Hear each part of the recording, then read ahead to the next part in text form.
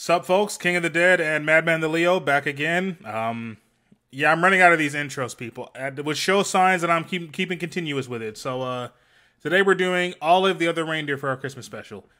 Now, Olive the Other Reindeer is a 1999 American 3D animated Christmas comedy musical, Jesus fucking film written by Steve Young, who you might know as like a former writer for The Simpsons which is probably why Matt Groening himself was the producer for this, and Drew Barrymore was executive, like executive, executive producer and the voice of Olive herself. now, to start off, let me just say, modern animation and modern critiques and Twitter have broken my head because I know as a kid I really admired this animation style, but man, is it fucking ugly with adult eyes. Mm-hmm. Mm-hmm. You ain't lying. It's just a bunch of 2D drawings, not even a South Park style just 2D drawings barely moving. You ever see a character fucking run in this? It's fucking insanity. I for for the life of me, I could have sworn the main antagonist was a dog catcher. No, I knew it was a mailman. Even as a kid, I thought if there's any profession that allows you to hate Christmas, it'd be a mail person, it'd be a postman. This is where you'd fucking hate it. You would hate mm-hmm. your fucking life, especially if you work for Amazon. Shit.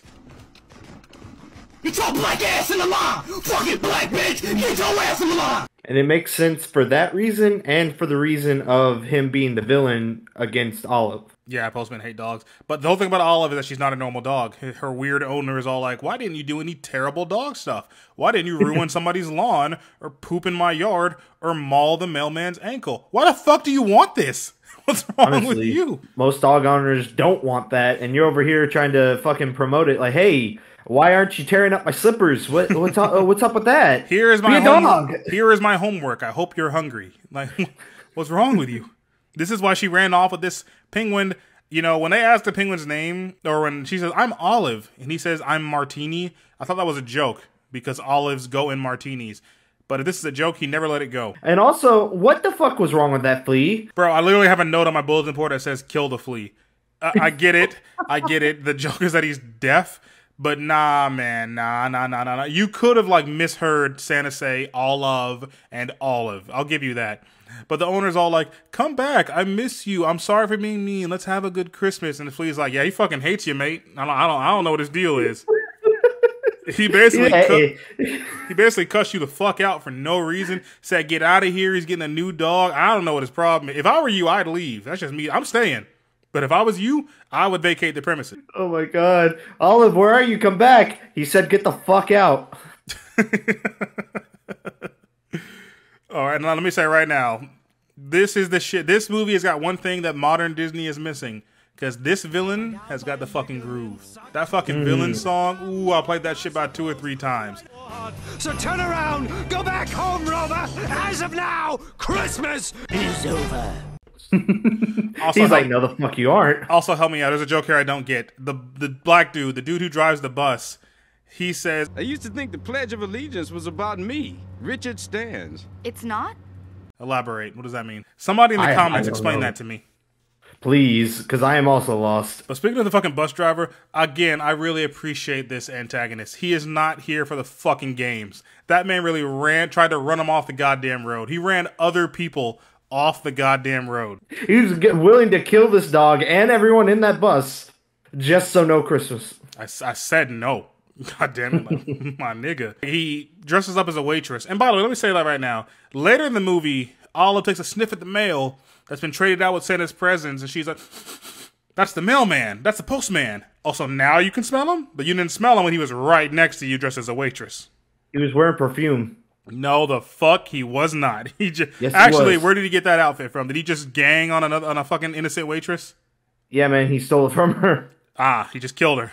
I love that. And when uh, she's like, "Ah, look at this, look at this mail," and he's like, "Ah, don't tamper with the mail. It's a federal offense." But it's it, it's it, it's my mail. All right, like, why did you let her do that? This is why you fucking fail.